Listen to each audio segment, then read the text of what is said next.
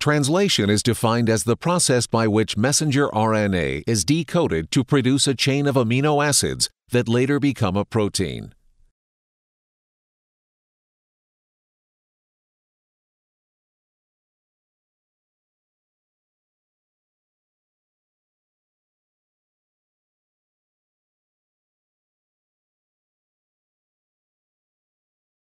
A small ribosomal subunit positions itself on the mRNA molecule. Transfer RNA molecules carry specific amino acids that correspond to the tRNA anticodon. This anticodon is the code that allows the tRNA molecule to bind to the complementary mRNA codon.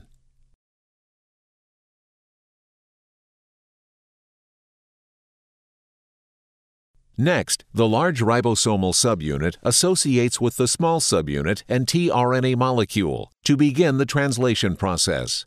As the ribosomal complex moves downstream on the mRNA molecule, tRNA shuttles each individual amino acid as specified by the code contained on the mRNA.